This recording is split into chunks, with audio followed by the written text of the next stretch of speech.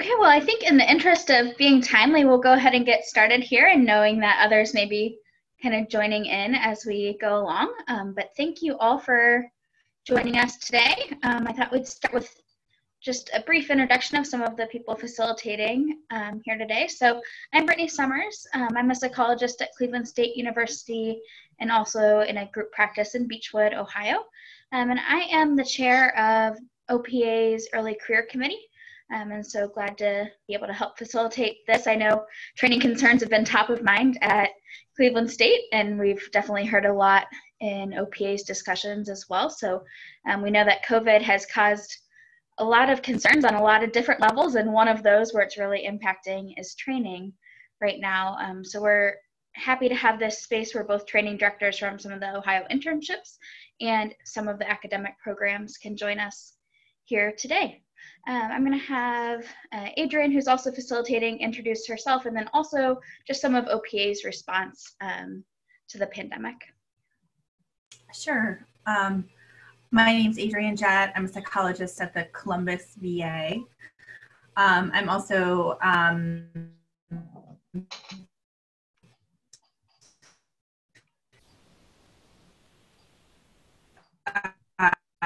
uh, co-chair of the OPA membership committee.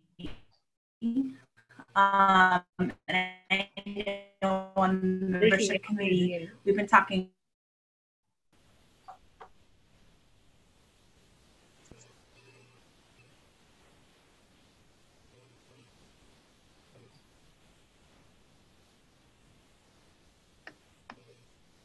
Can you hear? Are you able to hear me? Yeah. Yeah, no. Okay. Oh, oh, oh, okay, okay. I'm done, Michael. If I don't know if you wanted to say any introductions at all. Oh, we didn't hear most of what you said. So. Oh, you didn't. Oh no. Okay. Um, I'm Adrian Jett. I am um, co-chair of membership committee for OPA. Did you all hear that part? okay, good. Um, I was just saying that on membership committee, we've been talking for a long time about reaching out to training directors um, and leaders in academic training departments. And so we're really thrilled to have all of you together today um, and hope to be reaching out to you all a lot more in the future about upcoming um, things for your students and also um, ways for us to get together um, as a community. So thank you for joining us.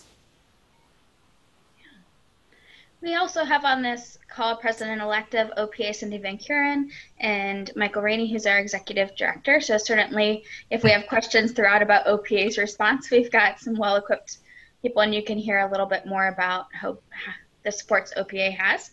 Um, but we're also really excited to have Dr. Kathy Grus join us. Um, and so I wanted to introduce her a little bit here. Uh, Dr. Grus is the Chief Education Officer at APA and has been on staff at APA since 2005. She was named Deputy Executive Director of Education in 2010. In her role as Chief Education Officer, she leads the association's efforts to promote psychology and education and education in psychology.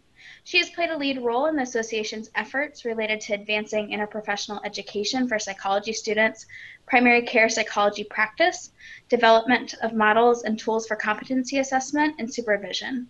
She serves on APA as APA's representative to the National Academy of Medicine's Global Forum on Innovations in Health Professions Education, the Interprofessional Professional Lism Collaborative and the Federation of Associations of Schools of the Health Professions. Before coming to APA, she was an assistant professor in the Department of Pediatrics at the University of Miami School of Medicine, where she served as the director of an APA accredited internship program. She is the recipient of many awards, including the Paul Nelson Award, the Friend of the Association of Directors of Psychology Training Clinics, and the Nova University Distinguished Alumni Achievement Award. And in 2016, she was inter- inducted into the National Academies of Practice as a Distinguished Scholar and Fellow. So we are so glad to have you with us today. Thank you for joining us to help facilitate some of these questions. Um, and I think to start us off, you were going to uh, just talk through a little bit of a PowerPoint presentation on APA's response as a starting point for our discussion today. Yeah, thank you very much for that introduction, Brittany. And I'm going to just very briefly uh, share a little bit about what APA has been doing. But I'm really excited about the opportunity for us to have a conversation as a group because I have to say that many of the things that APA has done has, has been in collaboration with other training directors, and your experiences are are extremely helpful at this point in time because no one entity has the answers here because we are living through uncharted uh, conversations as we, we move through this uh, crisis. So with that, I'm going to pull this up. Okay. And again, I just want to give you a high level um, overview of some of the things that we have been doing at the Education Directorate at APA uh, to be responsive to the questions and concerns that we're hearing from the training community. Uh, we've done a variety of, of, different types of responses that I'll, I'll walk you through some uh, that might be particularly helpful to you. And just as an aside, if, if people are interested, I'm very happy to share these slides later on because we have embedded a, a, lot of hyperlinks in here so you can go and use some of the resources that might be particularly useful uh, to you that I might mention uh, to you today.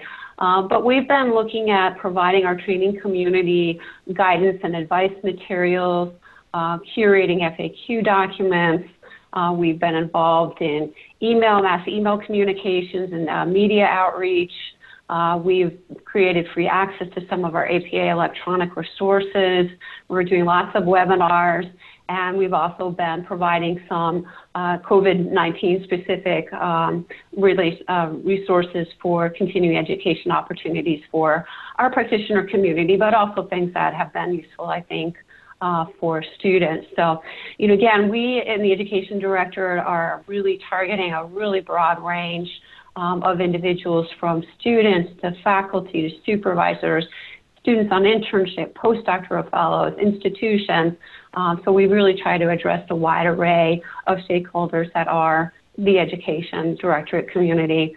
Um, and one commitment we have is that we as we get new information, we, we are updating our materials. This is a rapidly evolving landscape, and what we were telling people back in March is, is not always what we want to tell them right now. So uh, we do make sure that the materials that we put out there reflect our, our best understanding at any point in time. So to share with you some of the guidance and advice materials that we've uh, put forward, uh, really we've been trying to respond to uh, specific topical areas where people are asking us, hey, we need some more information about this particular subject. So some of the things we've, we've curated so far is we have a general advice document for psychology supervisors and trainees on caring for patients during the COVID-19 crisis. And uh, within this document, we, we do talk about navigating that, that a tricky relationship between ensuring that trainees are safe, managing trainee anxiety as they're delivering patient care, uh, whether it's uh, through uh, telehealth and new platforms that they're not used to doing. Um, so some nice tips in that particular document. Uh, managing your student loans during COVID-19 is another document that we've put out. Uh, more recently, we put out some guidance related to options for uh, training students in the psychological assessment area and some principles that training programs might want to um, adhere to as, as you try to think about training in this particularly difficult area at this point in time. Uh, coping with COVID-19 related stress as a student. Um, and uh, we do have a, a broader uh, telehealth guidance document that um, APA put out, primarily curated by our, our folks and, in, the practice directorate, but I will uh, point that out to you that we do have a section uh, for each of the states that are in that document that covers questions that's related to supervised trainee telehealth services. So both um, any state level guidance about trainees providing telehealth services, as well as any guidance related to telesupervision and how that might work in the state. Um, and again, that's another document that we are trying to keep uh, fairly current because we are seeing state level guidance coming out and, and changing on, on a fairly regular basis. Um, as you can imagine, uh, lots of questions are coming our direction uh, by email, by phone, uh, you named it. So we've been developing frequently asked questions documents to try to address the more commonly occurring questions that uh, people have been uh, raising to our attention. Um, again, focusing on the broad stakeholders that are our education uh, constituents. Uh, some of the things I'll highlight to you is we have a general education FAQ document that just covers the gamut from uh, students who have their research disrupted to students have questions about providing clinical services. So it's really, it's a hodgepodge of all things uh, related to graduate education in particular. Um, we have a resource document um, from our Commission on Accreditation uh, that came out uh, a little while ago, uh, providing some guidance to accredited programs about um, how they should proceed in terms of the disruption uh, to training that, that are really occurring at this point in time and, and where um, some of um, our, our, standards might have to be a little bit more flexible um, at this point in time. Um, I will just do a quick aside on this. Um, the Commission on Accreditation uh, does have a work group that's continuing to involve to uh, assess uh, the impact of, of the COVID-19 on training programs and I would suspect that we'll see this FAQ document updated perhaps within the next couple weeks the landscape has just again really changed from, where I think thinking was a, while back to, really appreciating that it's a very uncertain and perhaps extended period of time that we're going to have to be dealing with disruptions uh, to training, uh, to site visits, um, et cetera. And then um, so, some programs also use um, the PSYCAS, which is a centralized application system that APA uh, in consultation with another organization, we hosted. Um, since we're, you know, just about finishing up the application cycle, but we're already looking forward um, to, to, the fall when people are starting to think ahead to applying. So um, we have some FAQs that are specific to um, that particular system and how that might look different at this point in time.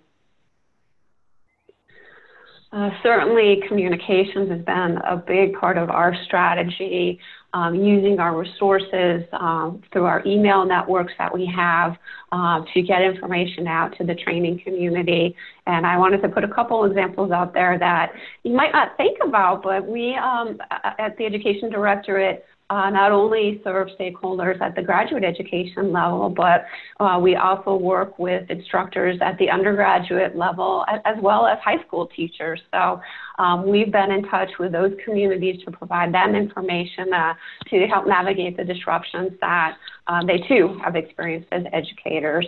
Um, and certainly, um, as opportunities come up, um, we uh, respond to requests from the press to, to understand more uh, what, what have been some of the impacts of the, the pandemic um, on education and training programs.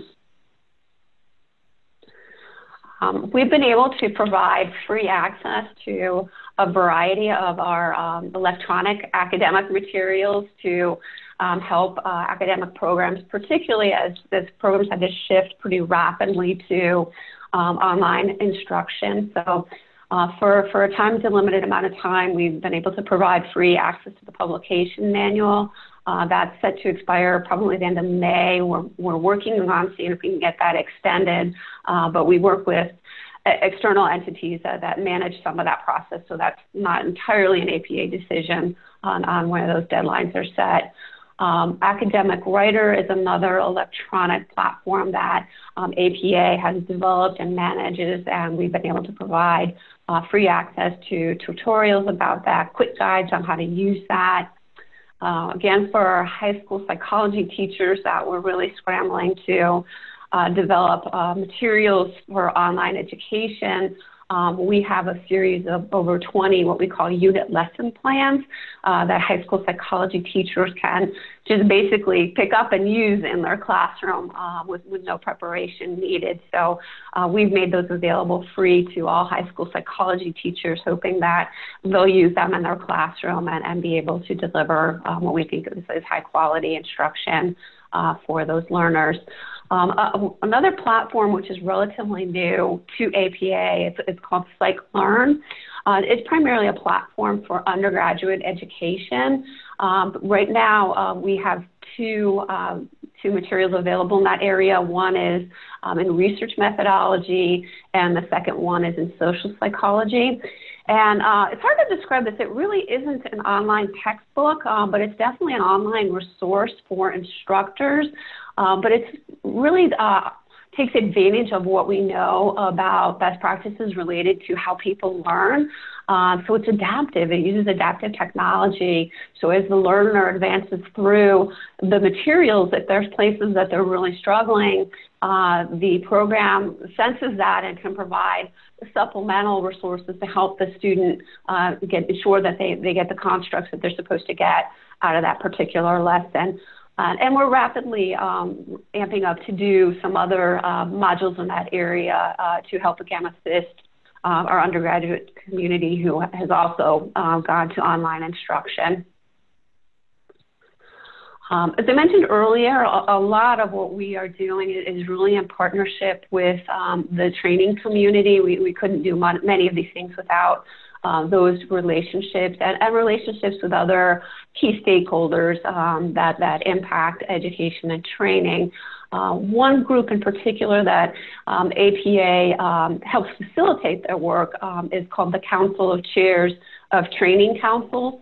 And that's a horrible acronym, but essentially the, the composition of that group are all the chairs of the various training councils that um, exist um, in health service psychology. So there's a training council for counseling psychology and one for school psychology and so on and so on. Um, so we, we work with that group and that group has been uh, particularly productive um, over the last couple months in, in, developing, I think, some very important resources for um, the training community. Um, but at their urging, um, early in March, um, APA in partnership with APPIC, the, the uh, Postdoc and Internship Council, the Canadian Psychological Association, and the Association of State and Provincial Psychology Boards, um, we, we developed a joint statement, um, you know, talking about uh, the need for flexibility and, and the regulatory community, which includes both the accreditors and, and the license, licensing boards, need to work together to ensure that the trainees are at the forefront um, so we came up with that, and that's that's still a statement that's out there that we can point people to, uh, particularly as uh, they might need it for for advocacy purposes. Uh, we also worked and continue to work very closely with APPIC uh, as different issues come up uh, for the internship and uh, postdoctoral training community. we hosted a co-hosted a webinar with them recently that was really directed towards training directors that uh, we're really struggling to figure out how to navigate um, what type of clinical work was appropriate and what types of settings for trainees of how to how to advocate for trainees if they were in a setting where trainees were considered essential employees, but you know they weren't having the proper safety precautions put into place. So it was really nice uh, Q&A, and, and that was um, recorded, um, so it's available um, as a continual resource uh, for training programs. Um, as I mentioned, the CCTC has been very busy. Um, they developed a statement uh, early in, well, it was mid-March actually, on education and training considerations during the COVID-19 pandemic, um, outlining some key principles that people should keep in mind as they're making decisions about uh, training activities for their students. So a useful one, I think, for people to look at.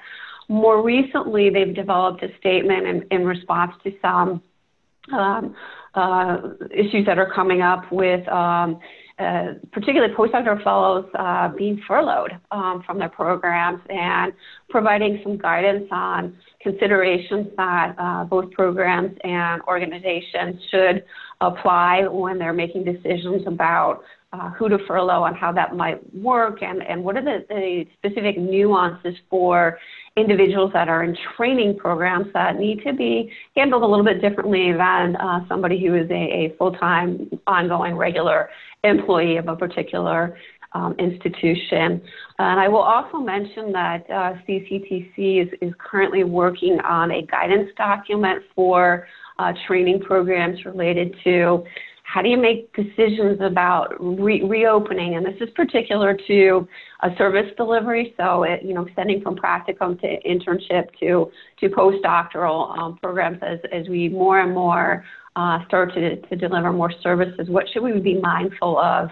Um, and again, how do we provide needed clinical care, but do so in a way that that's appropriate for for the particular trainees? Mm-hmm.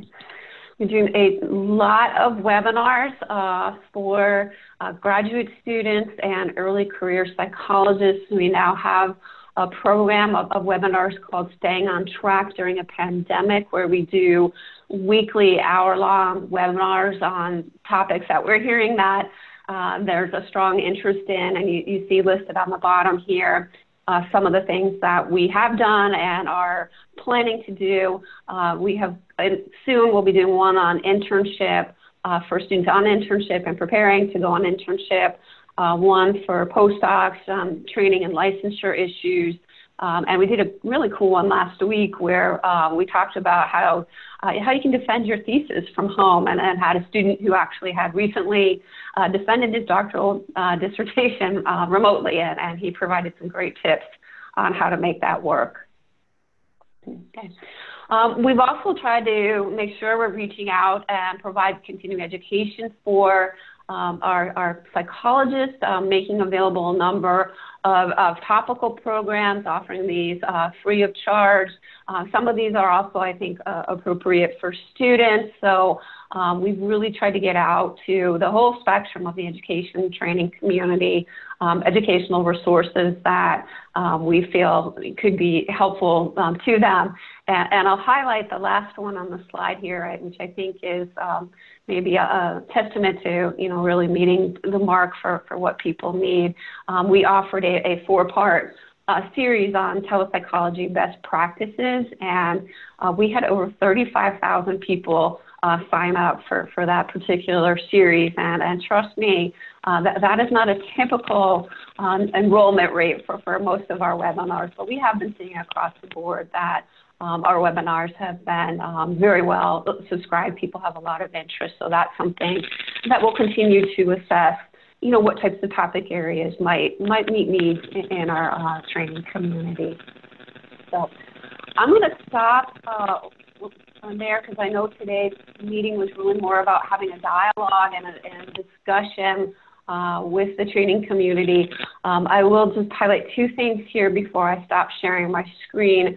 Um, that is our, our main uh, information page on the APA website, uh, where you can see all the different types of resources that uh, we have put together. There's a section for education and training. Uh, there's a section for telehealth and telepractice, but there's also resources for parents, for teachers.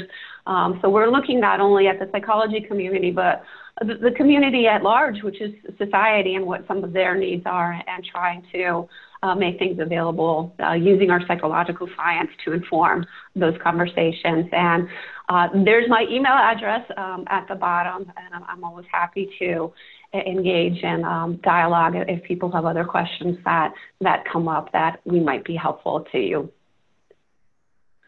So, Brittany, I'm going to stop from there and turn it back to you. Wonderful. Well, thank you. Thanks for highlighting all of those resources, um, which I'm sure we have differing levels of familiarity with at this point. Um, so we have about 45 minutes here to open up for questions. I'm thinking we will try with just an open unmute yourself and ask a question format. If that doesn't work, we'll switch to hand raising, but I figure we're a mid-sized group so we can give it a try.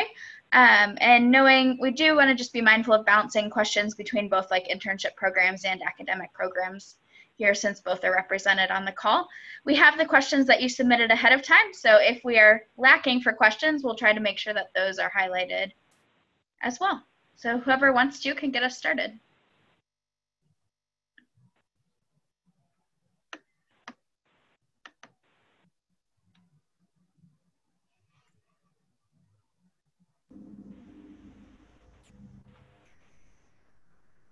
You answered all the questions, Kathy. I've noticed this is a, a, a Zoom phenomena, I think. so I always need one to kick things off, and then people get, get excited to ask questions. um, I, will go first. question, if I could. Good to see you. Sure, Paula. Doing this. I used the whole slide set because I was not clever enough to figure out the link. So apologize for that part. So if you already answered my question, but um, there are I am really grateful to not be in this particular situation, but there um, are quite a few programs that are having challenges right now with students on internship, um, especially internship, some practicum, um, where students are frankly being put in very dangerous situations Mhm. and um, told, you know, that if they won't do what they're asked, then goodbye. And I'm wondering, um, I've been trying to brainstorm a little bit in talking to people about these situations, what kind of resources APA and APPIC could bring to bear there. Like I know there's the APPIC resolution, but um, if that's not effective, it's, it's a really challenging situation, right? Yeah, it, it is absolutely very challenging, and that's why uh, it's one that we've attended to in a number of different ways, trying to provide um, some guidance because, you know, keeping in mind that, that there's a hierarchical relationship and, um, you know, our trainees are, are not always in a position of, of power within their organizations, and it's even more difficult if you're talking about a doctoral student that's off uh, on internship where you, as a doc training director, um, want to provide some advocacy, but you're removed from that as well. Um, so that, is one of the reasons that we did that webinar with APPIC a while back because we too were hearing about um, some of those situations because I think the first uh, line of advocacy, if you will, really rests with, with the training director at that particular site and that, that is part of their responsibility running a training program is to ensure uh, the welfare um, of their trainees and, and to make sure that they're not being put in a physically un- unsafe environment, but also to make sure that the types of services they're being asked to provide are, are appropriate for their developmental level. I mean, these are scary times. Uh, people are, you know, having their own personal reactions, um, and we're not immune as mental health professionals. And I think we have to recognize that uh, that's a part of the landscape for our students, and, and we need to be, um, you know, protecting that space as well. So, you know, the, there's the CCTC statement, the APPIC statement, the, the webinar, those are all things that we've tried to, to put out there to, to give some guidance. You know, it's, it's a, it's a tricky role when you talk about the, the doctoral program trying to um, navigate things with the internship program because you do have that relationship between the internship and the program uh, that was created vis-a-vis the match process. But um, I, I, think ultimately you can be advocates by you know speaking um, with the internship sites and, and, maybe helping empower a training director that might not feel empowered um, to do something. I think a related a related part. Thank you for that. Um, I mean, basically, everyone's just in a really hard position, right? And some of these internship training directors are fairly powerless in this situation, also. Yeah. Um, I think a related point that we've been really grappling with um, is that students who, to date, have not required any kinds of accommodations or accessibility services in the present time may have differing needs. And um, some of those could or could be on our campus and some of them could be on internship or in other kinds of circumstances.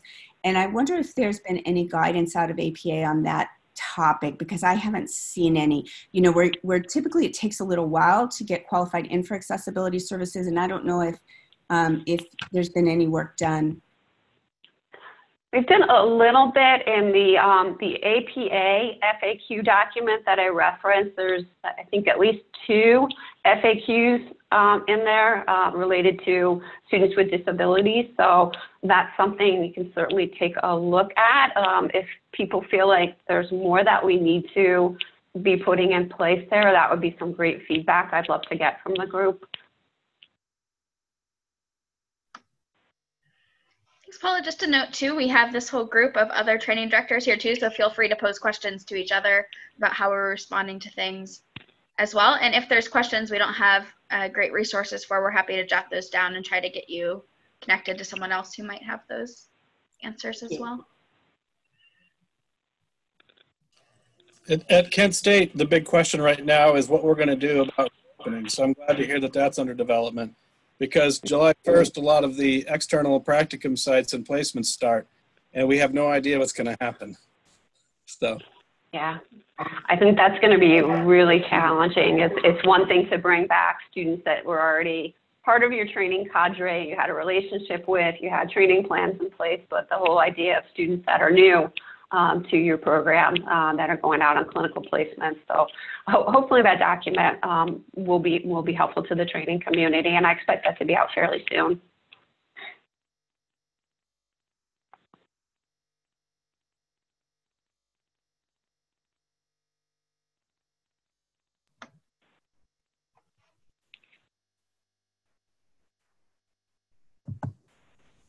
Just to piggyback a little bit um, uh, off of Paula's question, I'm wondering um, if there has been consideration, you know, we think about typical sort of um, disabilities that need accommodations, but you know, being immunocompromised is not usually one of those. Or more importantly, I think, uh, or even further afield, is needing to be the caregiver for an elderly parent, for example, or somebody else who might be more vulnerable.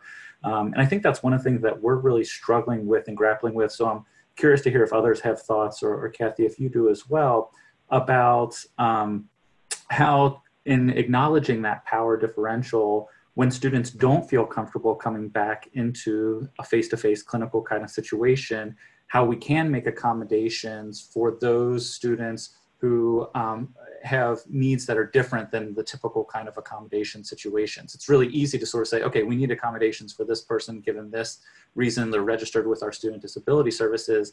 But I think these more um, sort of uh, indirect, if you will, um, situations uh, are, are giving us a lot of trouble. So I'd be curious to hear how others are thinking about it.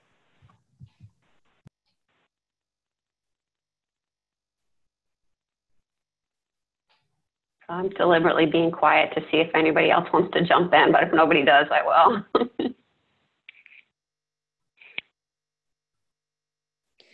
Um, just at Cleveland State, we haven't had students who've requested any type of um, kind of accommodations based on being a caregiver yet. So I would imagine that we would try to work with the individual students, you know, to figure out some sort of solution that they're comfortable with and that also we're comfortable with um, if that were the case.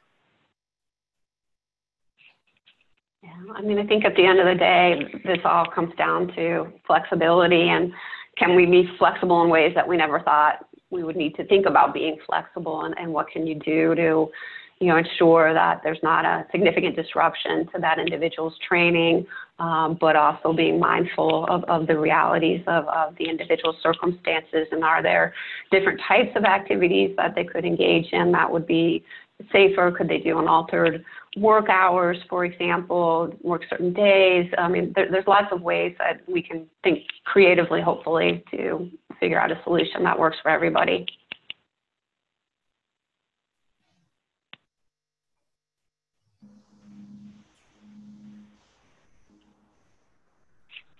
I think one of the challenges that we're having along these lines, and I don't want to give a lot of details on this call, but um, you know, clearly someone could take a leave if they can't do program activities. However, we are then talking about potentially taking away health insurance from people who are vulnerable right now, and that's and that's exactly what's causing the problem. And so it, it's really this is a big challenge because we're not just talking mm-hmm. about reducing someone's hours or you know, we're, we might be a year or a year and a half before we can let certain people back on face-to-face practica. It's, it's a really challenging time. So if there's any guidance about how ADA might apply or what best practices are i mean i think we're all trying to do our best but if there are any ideas i'd love to hear them.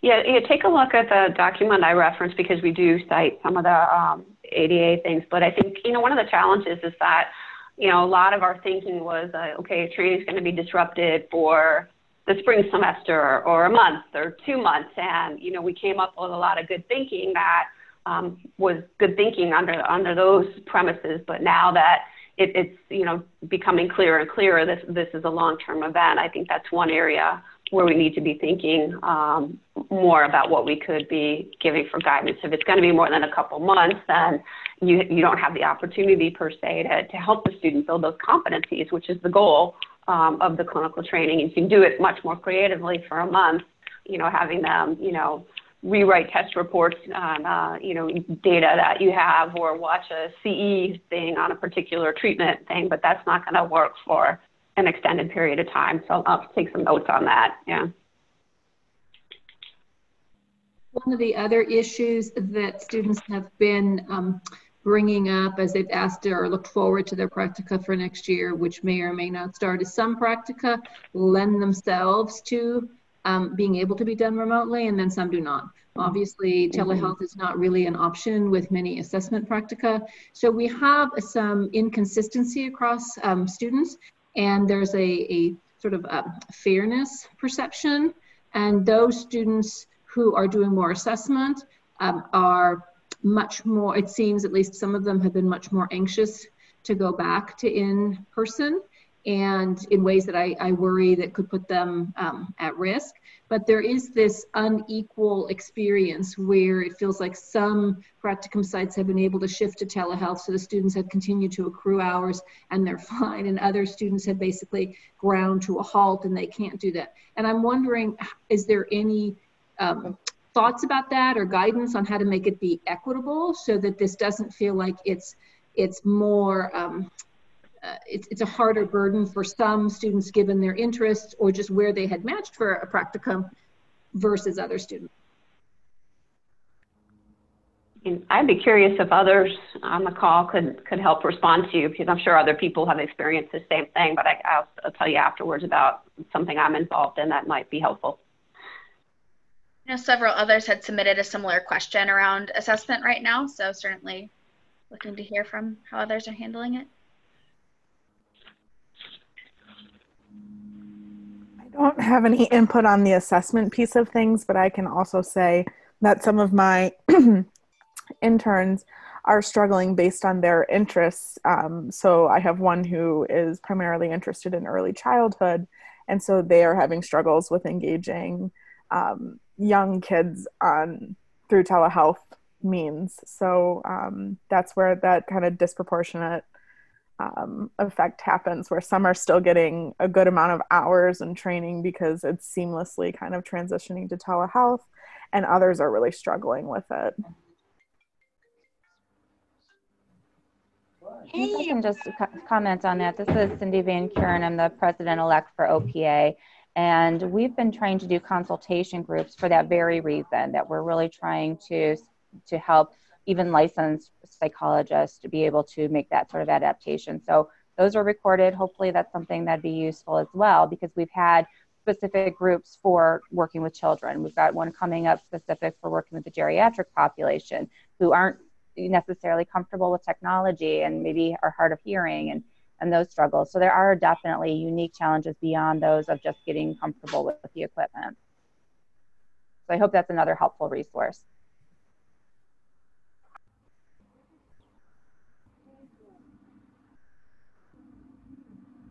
Yeah, so I can jump in. I'm at the very early stages of, of working on uh, a proposal to particularly address some of the issues with practicum students who've had their practicum training uh, disrupted. It doesn't really get at the inequity question that, that you started with, but just in terms of, of continuity of training um, across students. And uh, I've been working with um, several other health professions associations so like, you know, the American Association of Medical Colleges, the group for nursing colleges, osteopathic medicine, dentistry, and, they're all experiencing the same thing where their students have had clinical placements disrupted and uh, they've got a, a, workforce out there that could be doing things, but they're, they're not doing things because the environments where they would be doing things are just not appropriate for training at this point in time.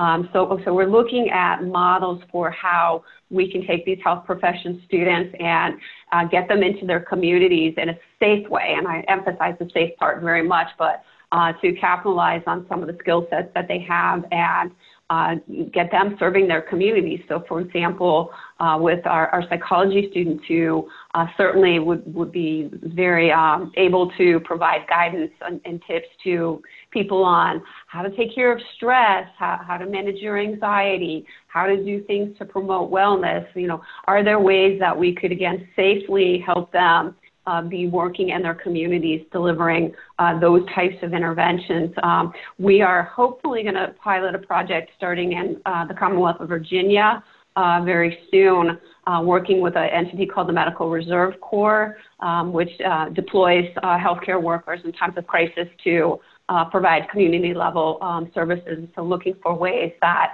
uh, we can create opportunities for health profession students to be serving their communities hopefully making those experiences interprofessional where they're working with colleagues from, from other professions as they do these types of things. Um, and I think that would be a win-win where we have students get the opportunity to deliver a valued service that they're learning from at the same time.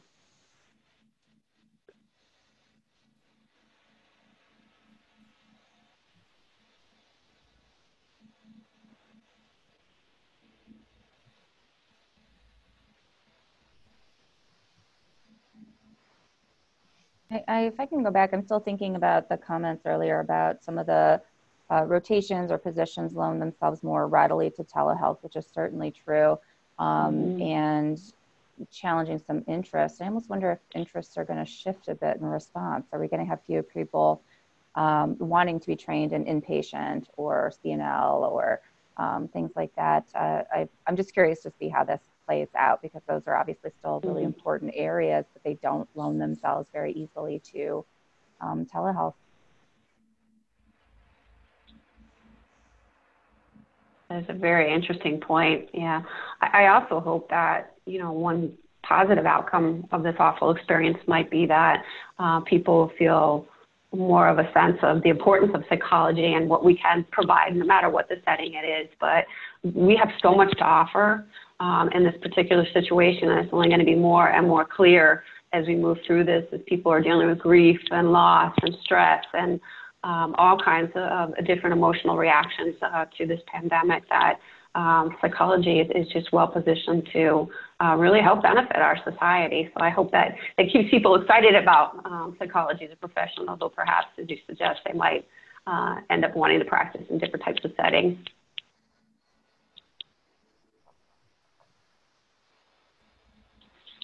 I think one of the other issues that might be connected to the issue of inequity is right there are two pieces one is the lack of those actual training opportunities in mm-hmm. getting the experiences but I can say honestly from some of my students, there's also the fear that some students are getting hours and I'm not getting hours. Um, mm-hmm. and so separating out the issue of the quality of the experience from the quantity. And I know for years, internship training directors, I'm at a, a doctoral program, and internship training directors have done a wonderful job saying it's about the quality, not the quantity. It's about the quality, mm-hmm. not the mm-hmm. quantity but I'm wondering if that message can get amplified a little bit more, um, potentially from the internship training community in some sort of formal way, where I've been trying to tell my students that there's going to be a new normal. Everyone expects that no one's going to have the same hours in the next couple of years of applying out that other people did. Everybody's losing hours.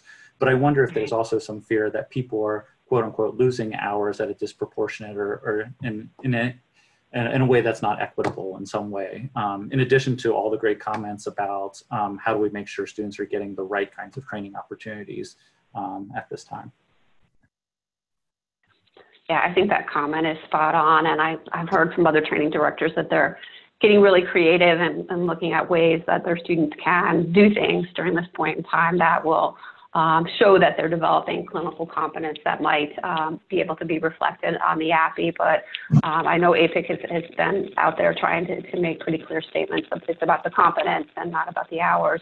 Um, the, the other question I'm surprised hasn't come up yet is, the only place where hours um, really seems to be a potential sticking point is, with licensing um, moving forward. And that's something that we definitely have on our radar as, as a short and long term uh, potential problem um, for, for our psychology students. And um, I just would mention that um, the Association of State and Provincial Psychology Boards, the, the organization that brings together uh, most of the, the, licensure boards in the United States and Canada, um, they have this on their radar um, as well as one of many issues that, that they're working on with their, their member boards. But um, really understanding that we're going to need to apply flexibility in ways that we never thought flexibility would be warranted, and that includes, you know, with the licensure process. And uh, they, they have made a commitment. They've actually started a task force to uh, come up with some recommendations for how states can uh, look at their licensing rules and regulations and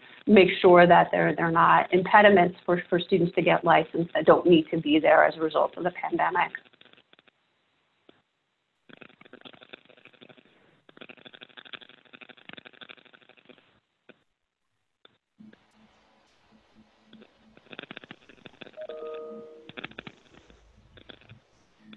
Know one of the other questions that showed up a lot is around orienting. I think as we're gearing towards the next incoming years, I saw a lot of questions about either orienting people to academic programs or to internship sites. So just wondering what, how other people are being creative and what recommendations there might be.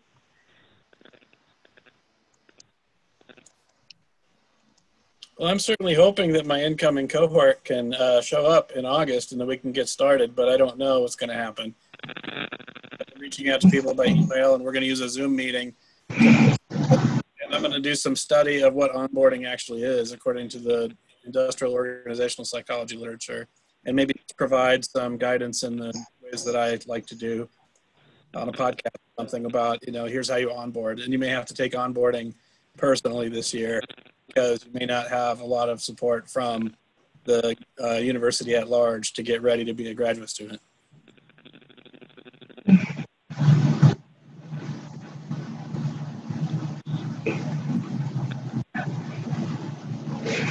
For our program in Cleveland, um, we're expecting to do a lot of our hospital orientation for our internship and um, uh, through through our program it's usually the first two weeks of the program is orientation and we're expecting to do a lot of that by remote and zoom meetings just planning for the worst but hoping that we'll be able to bring people in. Um, i think where we're struggling is we do a lot of of in-person observation of our trainees at the beginning to assess their competencies before we kind of turn them loose. And I think that's where we're trying to figure out how to balance whether we're going to use more simulations and things like that to determine level of competence when they enter the program.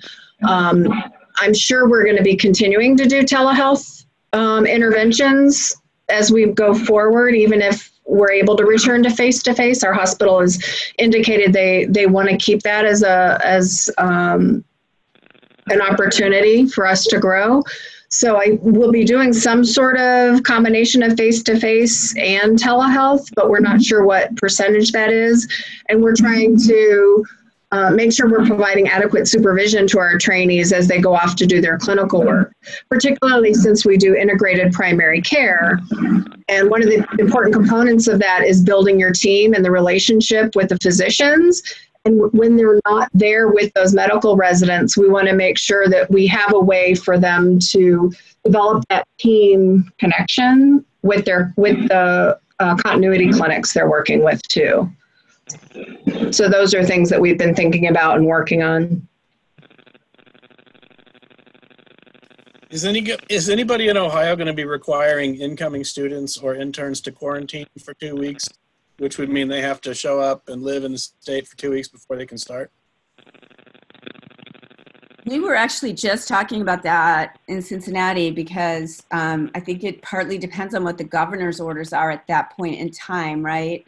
Um, so I don't see how we can not follow whatever the shelter in place orders are that are in place. Simultaneously, though, I've been watching the discussion on the CUDCP listserv with APPIC about how it's problematic to require people to come extra early and pay, and have expense related to that. So I feel like we're a little bit between a rock and a hard place on that.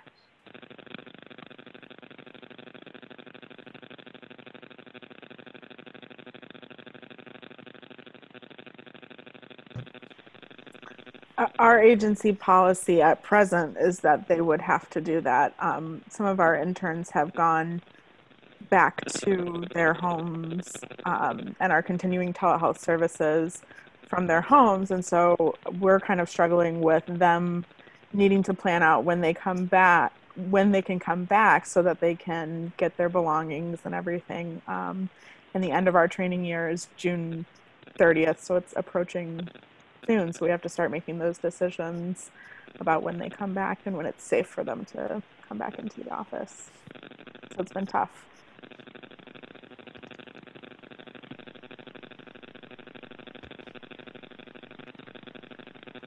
If I can go back to something um, just a moment ago that was shared, I'm really stuck on that idea of how do you connect with your team when you maybe can't meet them in person or at least not in the foreseeable future. I actually really like that idea, and I would like to maybe put together a consultation group um, kind of at the change of the academic year where I think we could just make ourselves available to consult on that. I know my team has gone from, even though we're all in the same building, we don't meet in person anymore because we can't have more than 10 people in a room.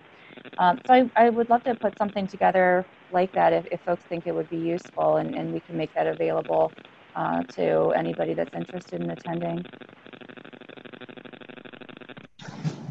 I think that would be great.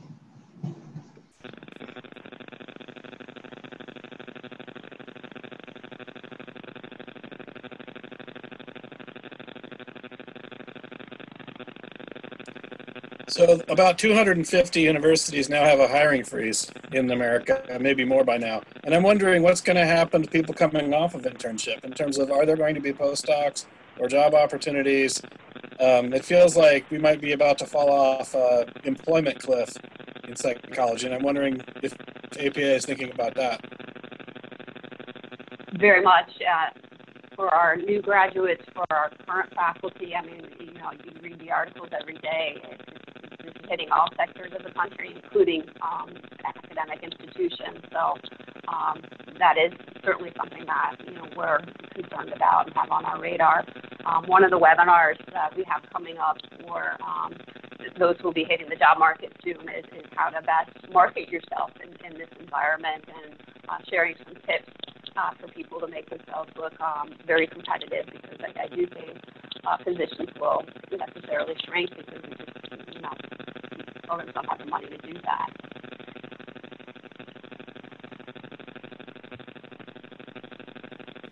I, I have a similar concern too about um, increasing bottlenecks at the input end too of graduate programs. Um, with all the budget cuts, I think we just are probably going to be looking at fewer slots in the next year or two because of poor ability to support people. Um, and I hate to even think about that because it's already so disgustingly competitive to get into clinical psychology. But I, I kind of see that also that there's probably going to be smaller programs and maybe even some years skipped in admissions because of this. I actually have been worrying about the opposite that programs that are um, that do not have much of the experience focus that are more of a professional program because of the strains on university budgets, administration is going to view those that have been able to have cohorts stay small and be selective. Are they going to put pressure on to um, expand significantly the amount of students that are in accepted as a way to be able to generate um, revenue? And given the needs for the faculty to student ratios, you know, that's not something that programs can absorb or can do and, and accreditation right. And certainly we've not heard anything like that at all at this point yet, but thinking down the road, programs that provide strong financial support for students are going to likely narrow, but those that are um, that don't provide as much financial support might feel some pressure to expand. And then how will the accreditation bodies view that? And, APA, you have even potentially a, would have some potential divergence between these programs that I think in the new standards of accreditation, there's been some effort to more standardize program degree type to say these are the essential elements of training and that this differential enrollment could really kind of disrupt that that greater standardization. Interesting proposition you lay out there. Um, I can see that potentially being the case that we would have um, a bimodal distribution moving forward. I mean, certainly we've always had variations in sizes of, of programs out there. So I think to a certain extent, you'd say that the standards um, have been developed to, to capture both the breadth of our field, but also recognition of, of some of the challenges, particularly within uh, larger programs and how best to meet the needs of individual students. But um, conversely, you could also say if a program was getting much smaller, you know, uh, what, what are some of the downsides of that in terms of the student experience moving forward in a much smaller cohort than they might have uh, typically when financial equity weren't there as much. And I'm sorry, Dr. Grus, I'm having a little trouble hearing you. Yeah, I um, am one of the people. Yeah, that? are- people that aren't muted, if you could mute, I don't have the power to do that right now, but we're getting quite a bit of background noise. That would be helpful. Thank you. There we go. Sorry. Go ahead.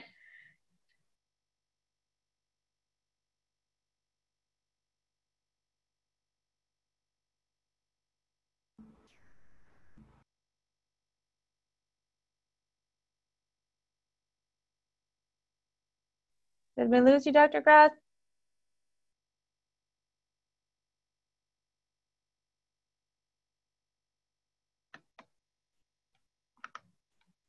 Me try to see what we can do here. Okay.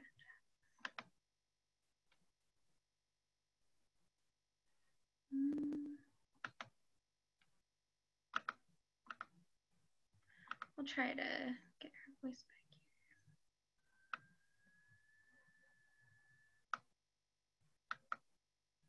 here. Dr. Grus, I know you were using audio through one of your phones. The two phone numbers I have here are both uh, marked as muted right now.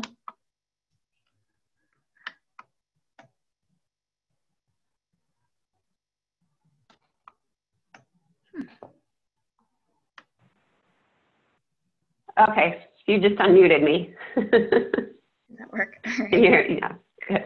All right, thank you. That's always my worst nightmare is to fade out in the middle of a call. Hey, we managed. Yeah, thank you. Yeah, so I was just, you know, mentioning that, you know, variation and the, the cohort size in doctoral programs is not something that our accreditation folks are unfamiliar with. Um, but, you know, would we see greater disparity between, you know, the sizes of programs moving forward because of financial considerations? I suppose that's, that's possible to do so. Um, I, think our, our standards, um, I think would, continue to, play and work well for that, but I just would, would worry about the experience for students at both ends of that, that continuum. What is it like to be in a much smaller cohort than typically you'd be in, and conversely for students who might find themselves in a much larger cohort than they typically would have been, and, and does that change um, the nature of the student experience?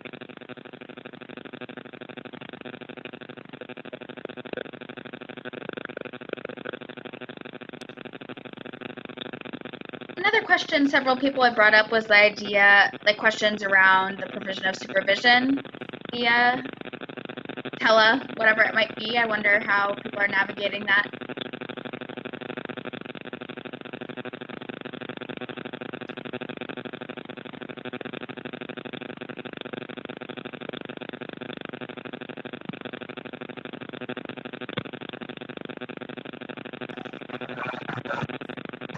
So we've been um, doing that in a couple of ways. Um, when we first rolled out the telehealth interventions, um, our trainees were working remotely from their own homes and we accidentally discovered that the technology we were using through our electronic medical record actually allowed the supervisor to sit in on the trainee's video call.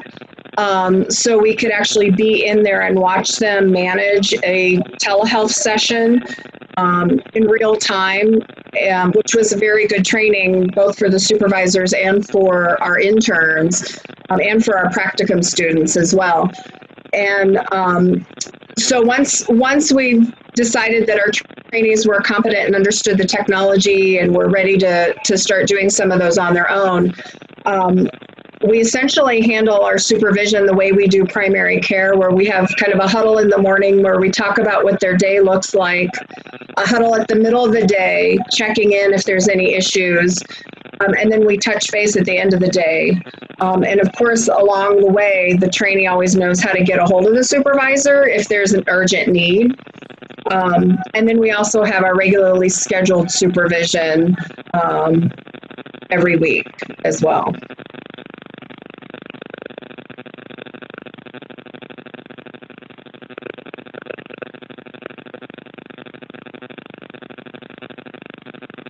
I know at CSU we've been talking about the option of like using kind of three-way Zoom calls as the equivalent of live observation or some of those options with recording as well.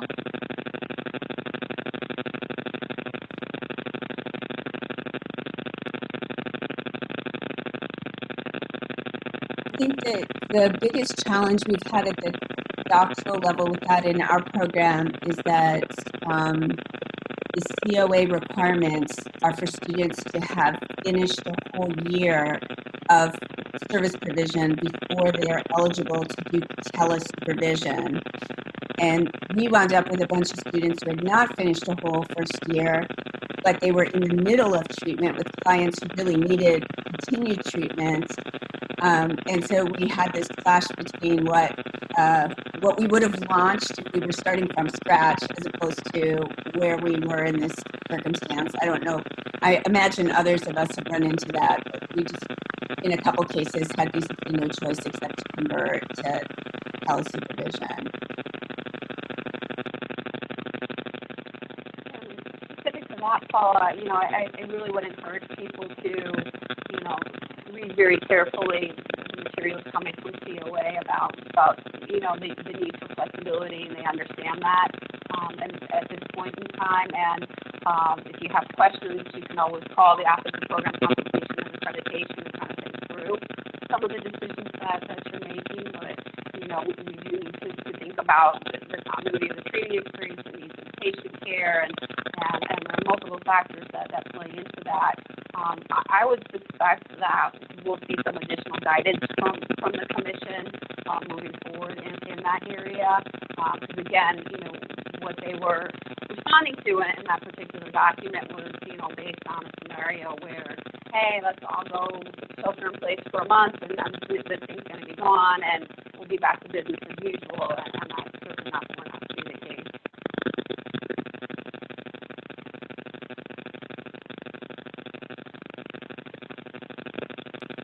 Well, I think we probably have time for one more question here if someone wants to jump in and then we'll wrap up.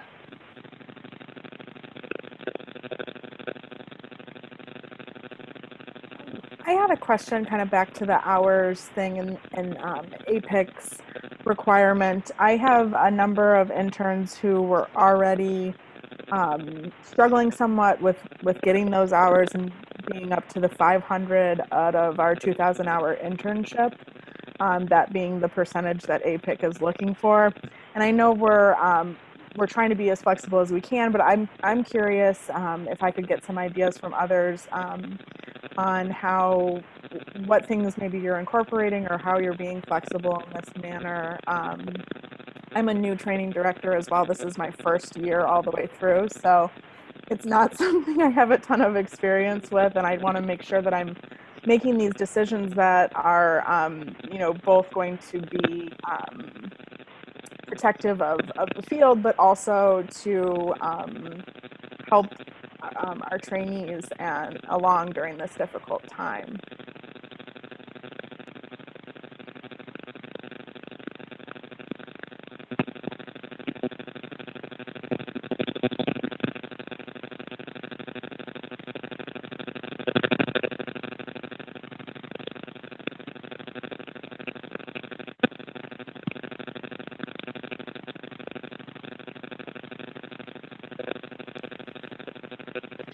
You know, with our interns, um, they actually have been able to maintain it. We feared that, but then they've been able to maintain caseload. But in the meantime, we had thought about some options for can we move anything from summer training wise till now so they have more time later to accrue direct hours? Like, can we shift anything so that as caseload would rebuild, they could accrue more hours later on? And we also tried to think about any like creative options for direct hours um, that we might be able to pull them into, have them doing more walk-in hours or things like that. Um, not walk-in now, obviously call-in, but.